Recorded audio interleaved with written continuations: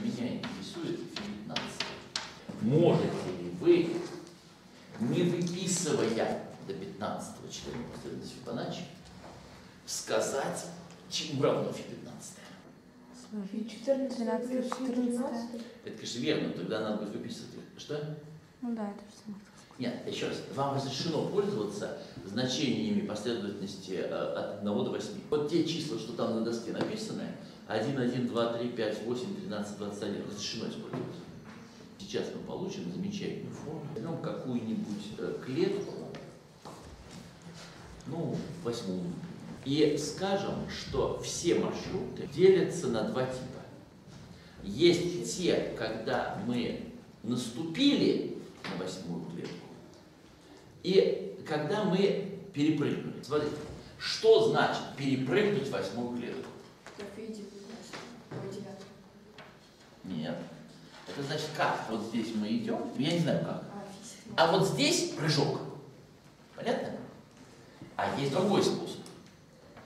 Как-то мы здесь идем, сюда при- припрыгли, как-то мы здесь идем. Будьте добры сказать, сколько таких способов и сколько таких? Ну вот, когда перепрыгиваем, фи Неверно. Кто скажет? Нет, вот таких способов, конечно, фи седьмое штук. Кстати, фи седьмое это сколько? 13. 13 штук, очень хорошо. А таких способов сколько? Точно? Тоже 13. Тоже 13, потому что клеточек здесь тоже ровно 7, да? Да. Замечательно. Так, 13. молодец. 13 умножить на 13. 169. 169. Отлично. 169. Так, а здесь Фи восьмое. Фи Фи восьмое. восьмое. это Фи сколько? Фи Это 21 на 21 21 на 21. Это у нас э, 441. 441. 441. А сложить? Ой-ой. 610. А давайте напишем формулу общую. Фи с номером m плюс n это что такое? Вот у нас есть, э, Это фи м умножить на фи м. вот здесь вот у нас есть n клеточка, смотрите. Это фи. Есть те, которые перепрыгивают, а есть те, которые на ней останавливаются. Давайте. Вот здесь будет число с каким номером? Фи. Фи с номером n минус 1. Так? А здесь будет фи с каким номером? Ой. Фи с номером м. Просто фи n. Согласны? А здесь будет просто фи m. да? Хорошо. А здесь будет что?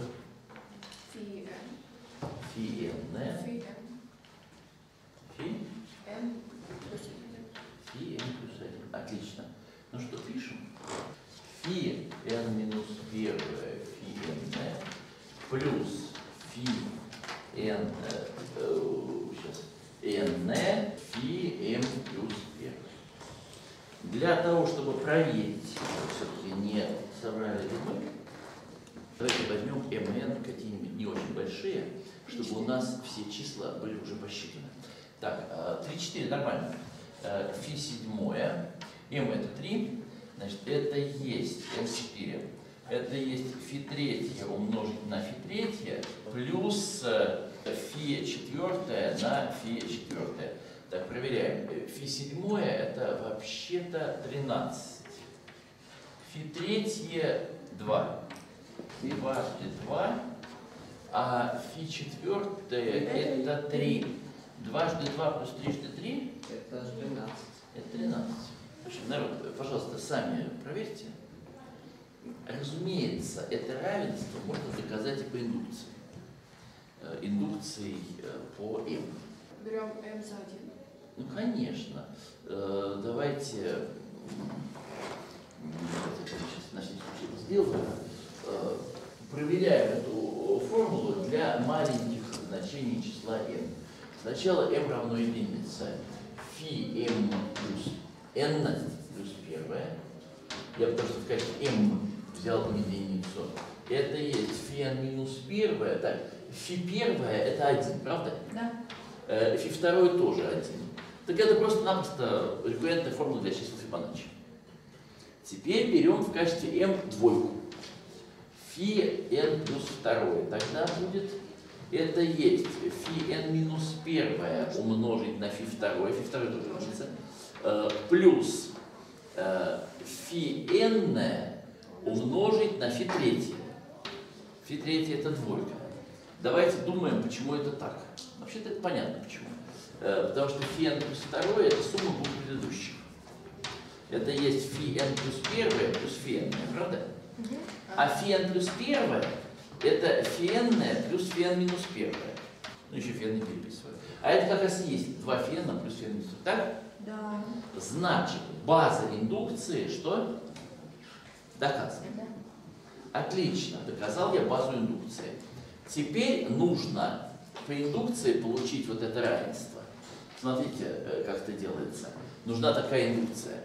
От чисел m и m плюс 1 к числу m плюс 2. Понятная идея? Я уже для единицы двойки доказал, значит получу для тройки. Для двойки тройки уже доказал, получу для четверки и так далее. Да. А как это сделать? Да нет, ничего проще. Э, Я пишу вот это равенство для m, его же сейчас напишу для m плюс 1 и посмотрю, что мне нужно будет дальше. Поэтому фи m плюс n это есть фи n минус первое фи m плюс фи n фи m плюс первое. Это для m. Для m плюс 1. Фи m плюс n плюс первое. Это есть фи n минус первое m плюс первое плюс фи n фи m плюс второе. Согласны? А что мне нужно получить? Вот, вот это вот дано, а что мне нужно? А мне нужно получить фи с номером m плюс n плюс 2 э, следующим образом расписанное. Э, фи n фи m плюс 3. Но, господа, если я сложу вот эти равенства, то смотрите, здесь фи n минус 1 вынесется, а m плюс 2 это сумма, правда? Да. А здесь n вынесется, а m плюс 3 это сумма. Победа? Да. Победа? Да. Все, решили? Да. решили мы эту Да. задачу. Э, Таким образом, мы получили, не знаю, мне кажется, совершенно замечательное равенство, э, которое выражает м, э, число Фибоначчи. В общем, заметьте, мы его получили комбинаторно. Там, конечно, мы его по индукции на всякий случай доказали, но доказали, э, получили мы его абсолютно комбинаторно. Комбинаторно это значит, более-менее без вычислений, мы устроили, смотрите, взаимно однозначное соответствие между вот таким количеством вариантов и вот этим. Да?